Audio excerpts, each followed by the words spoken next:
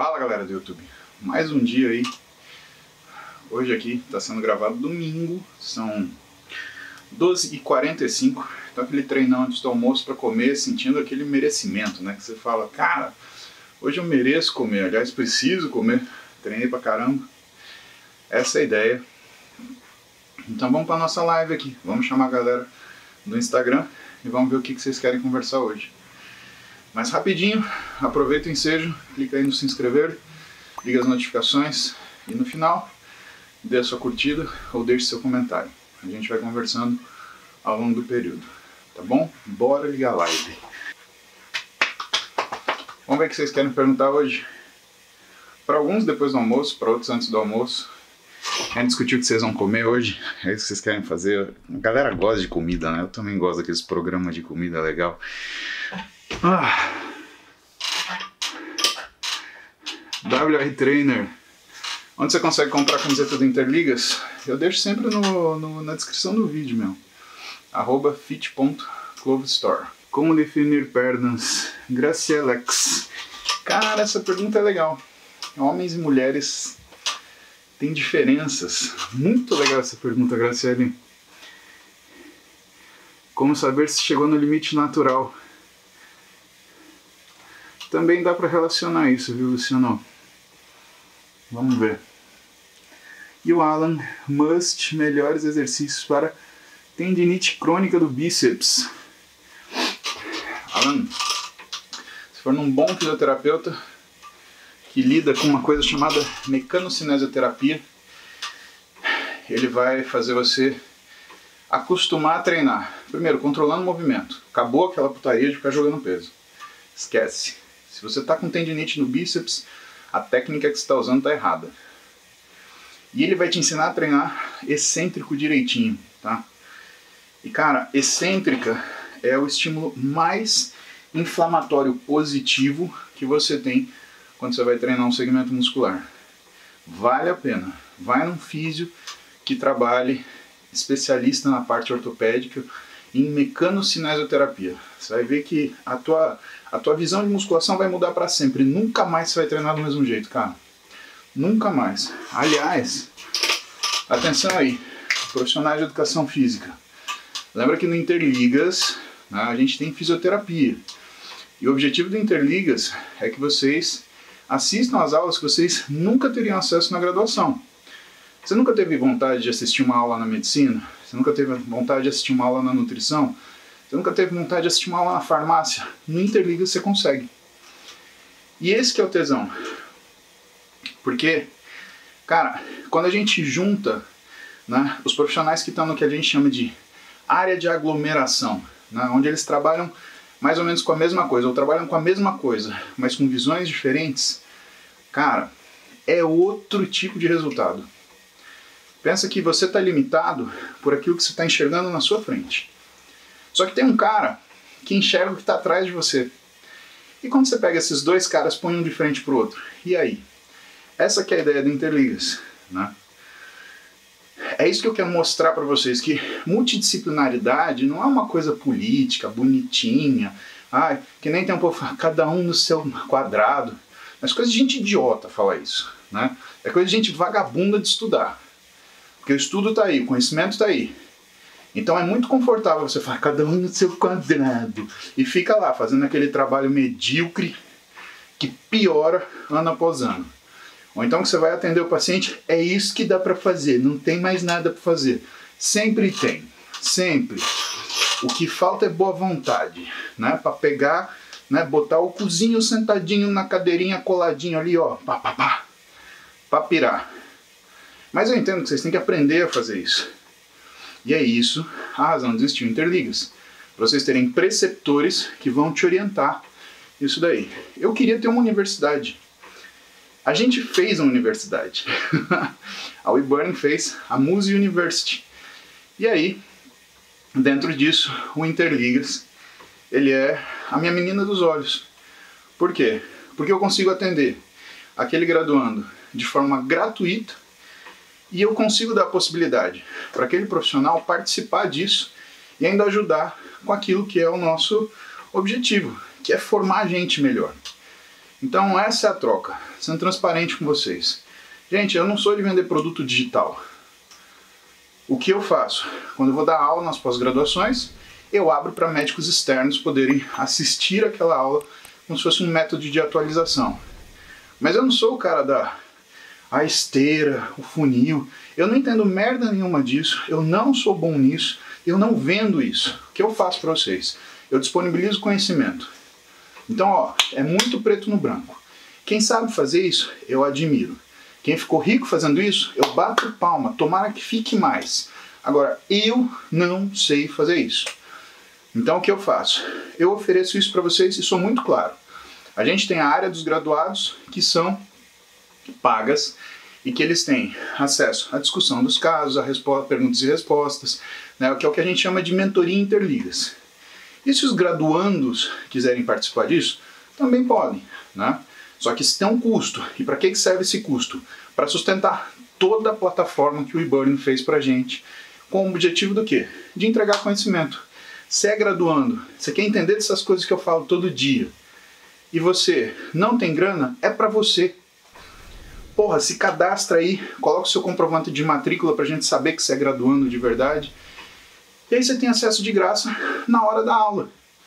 Se você tá afim de fazer um negócio, você vai se, se programar para assistir aula. As aulas vão ser geralmente ou de quinta ou de sexta-feira, a partir das 8 da noite. Duas horinhas de atualização por semana. Você tira duas horas por semana para você estudar. Você tira duas horas por semana para você assistir uma aula numa coisa que você nunca viu na vida e na graduação você não vai ver? O Interligas é para isso. É justamente isso.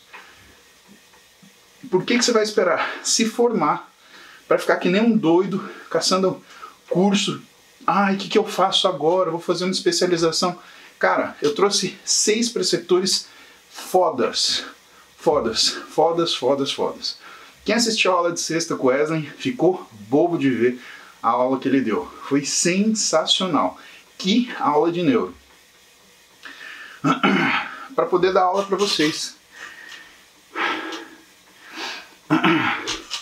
E aí, a ideia é que vocês tenham isso: educação física com fisioterapia, medicina com farmácia, farmácia com nutrição. Vamos socar na bioquímica, fazer isso entrar na cabeça de vocês. É isso que é Interligas. O Interligas, pessoal, é um ideal. Qual é esse ideal? É aquilo que eu gostaria de ter tido na minha graduação. A gente tinha na Escola Paulista as disciplinas optativas, né? Como é que era? Eletivas. Mas que a gente brincava que eram as obrigatoriativas, né? Porque você tinha que fazer, então não é eletiva, é obrigatório. E aí a gente fazia. Mas, meu, tinha, não tinha nutrição, por exemplo tinha fisiologia do exercício. E para fazer fisiologia do exercício? Cara, ou era uma briga de foice no escuro, porque não tinha vaga para todo mundo que queria fazer, ou então era uma coisa que em determinado momento não tinha. E aí você ficava com aquela cara de, de tonto. Imagina que toda quinta ou sexta você pode fazer uma matéria letiva dentro de profissões que não são da sua graduação, mas que vão te ajudar melhor a sua profissão e a sua graduação.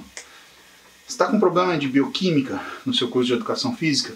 Então você vai aprender com farmacêutico bioquímico, o Gabriel Camins que falar para você. Você está na educação física e tem dificuldade em nutrição? Cara, tem a Aline Davi para falar para você de nutrição. Você está na graduação de nutrição. Você está tendo, sei lá, desempenho esportivo, treinamento ou princípios da atividade física, você vai ter o Lancha Júnior para falar para você.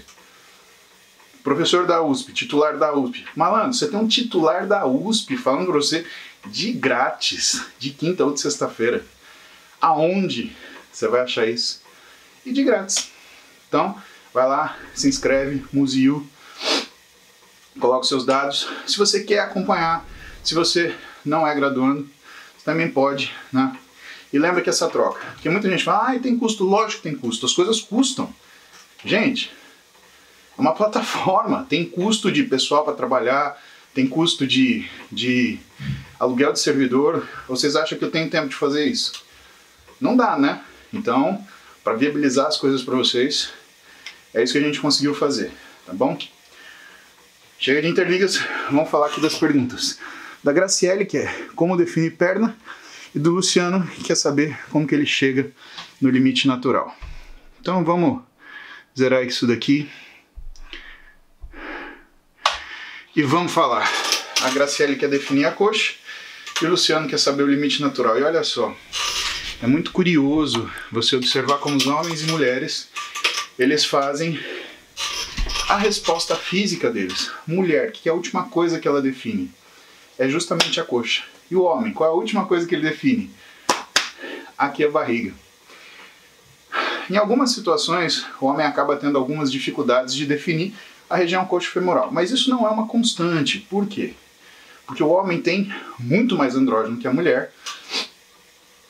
O homem tem da ordem de 15 a 20 vezes mais andrógeno que a mulher. E o andrógeno, né, a testosterona, ela não deixa você depositar gordura debaixo da coxa, porque a área preferencial de depósito de gordura é visceral e abdominal. Então o homem sempre engorda, preferencialmente na barriga, e a mulher sempre engorda, preferencialmente na transição coxo-femoral, glúteo e coxa, tá? Para a gente usar um termo mais simples. Então isso é a natureza de ganho de gordura. Isso quer dizer, Graciele, que para você conseguir definir essa região, o que você precisa é de tempo e eu vou te explicar por quê. Porque se você tentar fazer uma dieta muito radical, só que de implantação rápida, você começar a cair caloria de repente, pá, pá, pá, você vai perder massa muscular. Justamente porque você não tem andrógeno para segurar o tônus muscular igual um homem tem. Mais que isso, você não tem andrógeno para deixar a gordura das coxas baixas. Então o que, que você tem que fazer? Você tem que fazer um processo gradual e progressivo, onde você vai tirando gordura, aliás, perdão, vai tirando caloria da sua dieta de forma progressiva. Aí vem uma lei, Graciela, que a gente fala de lei dos 80-20. Você demora 20% do tempo para chegar a 80% do resultado. E você demora 80% do tempo para chegar naqueles 20% que faltam. É o que eu mostrei para vocês nesses 60 dias. Em 60 dias, eu fiz um físico estético, mas não fiz um físico competitivo. Eu fiz os 80% que precisava para vocês olharem o meu físico e falar, pô, que físico legal. Só que esses 20 que faltam, que é a diferença do estético para competição, eu demoro pelo menos mais 60 dias para fazer. Por quê? Porque eu tenho que tirar gordura sem criar um estresse metabólico tão grande. E eu tenho que ter o que é a manha do que? De ir colocando e tirando energia. Por quê? Porque se eu tirar demais, eu coloco, retomo glicogênio, mas eu não paro de perder gordura. Né? Então é aquela coisa de puxar quando precisa, soltar quando dá. E vamos que vamos. E é isso que você precisa fazer, Graciele. Para você, a dieta é um polimento. O que quer dizer isso? Quer dizer que a execução dessa dieta repetidamente, ela vai fazendo com que o seu corpo ele vá se liberando da necessidade de reservar gordura, porque a gordura também é reservada como uma forma de reconhecimento de estresse. Se você sofre estresse, estresse, quantidade de horas de trabalho, um estresse alimentar não programado, ou então problemas de sono, o teu corpo se defende. Como que ele se defende? Ele guarda energia. Então isso quer dizer que para você conseguir secar essa gordura da bunda e da coxa, sendo mulher, você tem que ter uma vida muito regular. Tem que dormir bem, você tem que comer bem. Você tem que fazer essas coisas de uma forma progressiva. Você pode até tirar caloria, mas você precisa da ajuda de um Nutri para quê?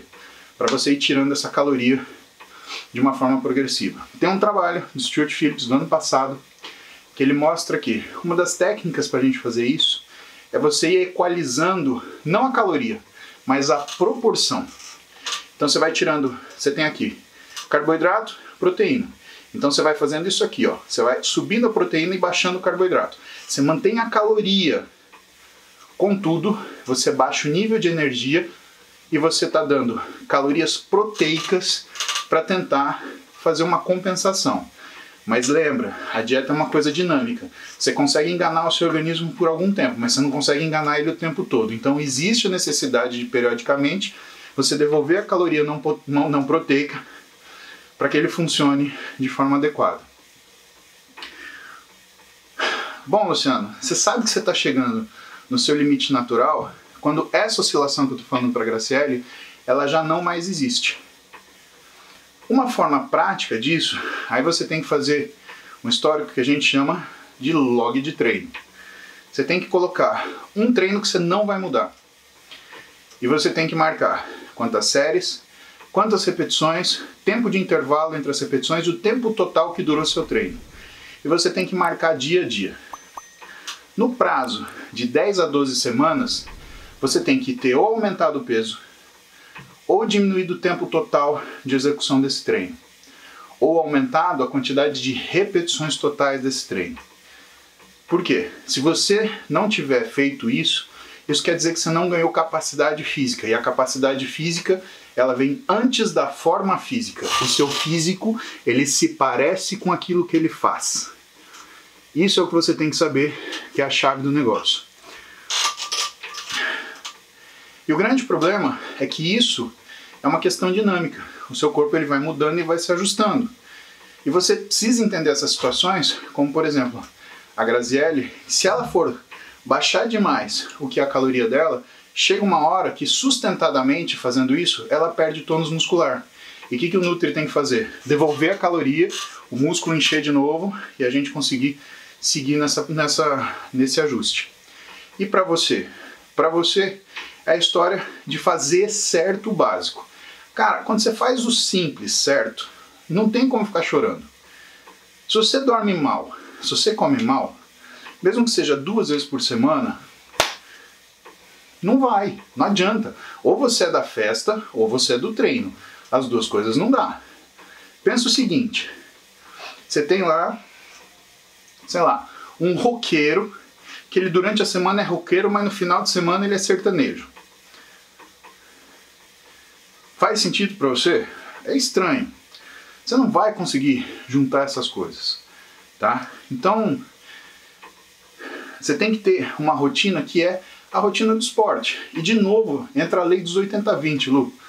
Você consegue 80% do resultado, mas aqueles 20 que, que você quer, que é a melhora de volume, o desenho do braço, o tamanho da caixa, a cintura mais fina, o abdômen trincado, a coxa bacana. Isso daí só vem com a consistência. Eu tô falando aqui pra você, por quê? Porque demorou 30 anos pro meu corpo ele responder desse jeito. Mas porque eu venho condicionando ele. Agora, eu faço isso há 30 anos porque o conhecimento que eu falo para você aqui, ele não tinha 30 anos atrás. Aliás, muito do conhecimento que eu falo para vocês aqui é de depois de 2007. Em 2007, a gente começou a ter trabalhos falando sobre dieta hiperproteica em indivíduos que faziam exercício resistido. Então entenda, muito do que a gente fazia antes disso, eu comecei a treinar em 1992. Cara, as coisas eram artesanais. 91, 92, uma coisa assim era artesanal, ninguém sabia direito o que fazer. Você meio que copiava os fisiculturistas internacional daquilo que você conseguia ter acesso né, deles. E, meu, é carga, é treino e é comida pra caramba. E vê o que que dá. Tenta a sorte. Então era basicamente isso. Então seu limite natural, ele está atrelado ao seu limite de capacidade física, quantidade de trabalho realizado. Faz esse log de carga, você tem que ser paciente para você ter o tempo de ajuste, você está falando aí, quando atinge pico de hipertrofia, da ordem de 10 a 12 semanas, se você não aumentou sua capacidade física nessas 10 a 12 semanas, né, que pode ser o aumento da carga de trabalho, o aumento do número de repetição, ou a diminuição do tempo para realizar o mesmo treino, significa ou que você não está completo ainda na sua técnica de treino, na sua técnica de dieta ou na sua necessidade de sono, ou que de fato você atingiu o seu limite natural para aquela situação. E aí, outras coisas elas aparecem no meio disso, né, como opções para você tentar resolver esse descompasso. Isso, isso existe. Mas o que, que você tem que pensar? Você tem que pensar que aquilo que vai te fazer desenvolver mais é aquilo que é capaz de fazer treinar mais. Primeiro treino, Primeiro a capacidade física. Se sua capacidade física não muda, é isso que você tem que ir atrás, é isso que você tem que brigar, é isso que você tem que mudar, tá?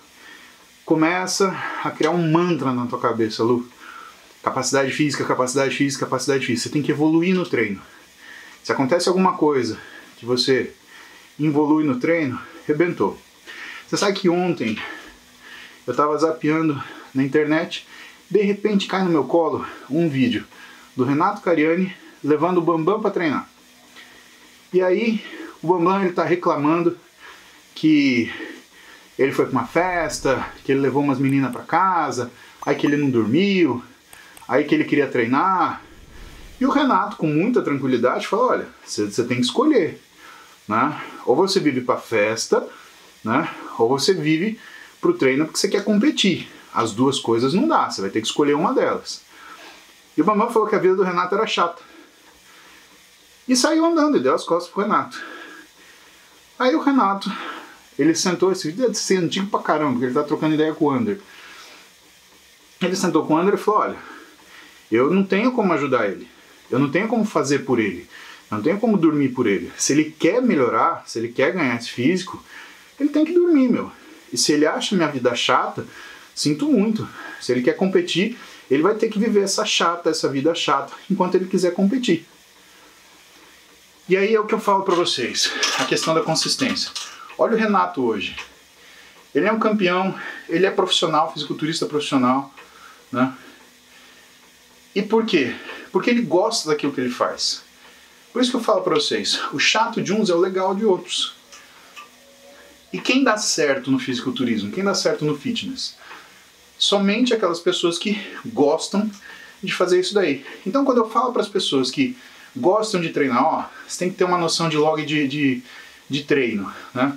O cara não vai achar chato fazer um caderninho. Porra, eu tenho caderninho até hoje. Eu tenho lá no meu bloco de notas tudo que eu faço. Você vai falar pro cara, ó, temos que acertar a dieta. O cara vai ficar empolgado. Porra, o que, que eu vou mexer na dieta? O que, que eu vou melhorar? Esse é o bizu. Agora, para pessoa que está sofrendo em fazer isso, está sofrendo em fazer dieta, malandro, aí eu não tenho como ajudar.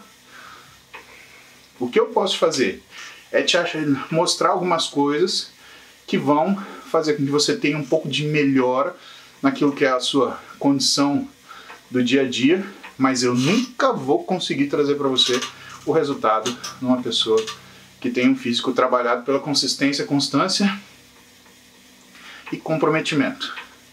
Por quê? A pessoa gosta disso. E a gente não ensina a gostar. Essa é a questão. O que a gente ensina é o conhecimento atrelado a isso. E eu falei para vocês, vocês estão numa época fabulosa. Gente, não existia esse conhecimento quando eu comecei a treinar. Você acha que alguém em 1991 falava, não, técnicas de intensificação. Porra, acho que o Belmiro não era nascido na boa. Não, nem tanto. O Belmiro é mais novo que eu, mas não é tanto assim. O Belmiro tem 30 e. Bom, entra lá no, no, no, no, no Instagram do Belmiro e pergunta pra ele quantos anos ele tem. Faz esse favor pra mim. Eu, eu acho que ele tem 37 ou 36, uma coisa assim. Eu tenho 42. Então ele tinha seis anos em, em 1991. Tava meio longe ainda de ser professor doutor do Emílio de Salles. Mas não tinha isso, cara. Não tinha. Entendeu? É tão. tá tão acessível, não tá fácil, está acessível. Né? E eu entendo a dificuldade de vocês. É tanta informação, mas cara, é isso que faz diferença. Bunda na cadeira, que aí a coisa funciona. Aí de volta, né? Que é o que está na minha cabeça agora, né? Interligas, interligas. Aí tem o interligas, né? Você quer saber essas coisas profundamente, você saber o que você pode estudar, você saber o caminho direito? Porra, você tem um programa foda de sete preceptores foda para falar para você das coisas que você não teria na tua graduação normal. Então aproveita, entra lá no meu perfil, clica lá no Museu, Museu University, se cadastra no Interligas. Você vai gostar. Nossos encontros são de quinta e sexta noite, ou quinta ou sexta noite, sempre com aula, pelo menos dois preceptores, mostrando os dois lados da moeda, daquilo que é treinamento, daquilo que é alimentação, performance, bioquímica, fisiologia, cara, você imaginar. Né? E se você entrar agora, você tem acesso à aula que eu e o Wesley demos semana passada. Eu falei sobre alteração do padrão de paladar, ou de fome, na verdade, com o uso de androgênios, e o Wesley falou sobre tomadas, mecanismos de tomada de decisão. Você que está aí assistindo agora, né, e que assistiu essa aula, você tem que lembrar, dopamina é o neurotransmissor do quê? Que se você falar que é do prazer, eu vou caçar você, eu vou te dar uma piaba na sua orelha. Pode colocar aí.